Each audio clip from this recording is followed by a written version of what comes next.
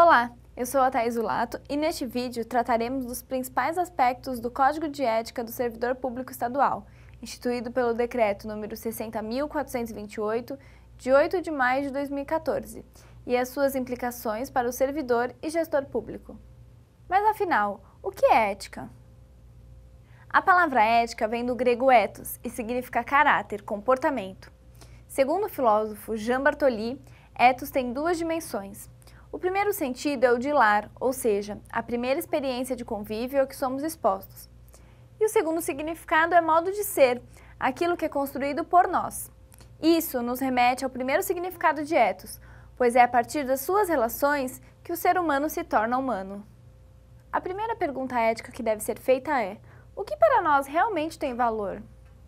Como vimos, os princípios éticos são os alicerces da convivência humana. Código de Ética, por outro lado, é um conjunto de regras de conduta criado para orientar as ações dos funcionários e explicitar a postura de uma organização em face dos diferentes públicos com os quais ela interage. A conduta ética de uma organização é o reflexo da conduta dos seus profissionais. Por isso, é fundamental que o código de ética se reflita de fato nas atitudes das pessoas a que ela se dirige e encontre respaldo na auto-administração, que, tanto quanto os demais, tem a responsabilidade de vivenciá-lo. Porém, o comportamento ético não se limita ao mero cumprimento de regras estabelecidas. Sempre haverá situações no dia a dia que não se encontram previstas em um código. Nessas situações, em especial, é que o indivíduo deve lançar mão da reflexão ética em sua ação. A Corregedoria Geral da Administração, por meio do Decreto nº 60.428, instituiu o Código de Ética da Administração Pública Estadual. Este código deve ser observado por todos nós, servidores públicos estaduais e agentes públicos.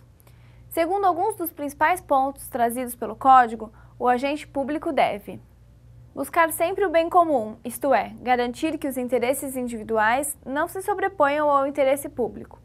Observar sempre a dignidade, o decoro, o zelo e os princípios morais, não apenas no trabalho, mas em todos os aspectos da sua vida.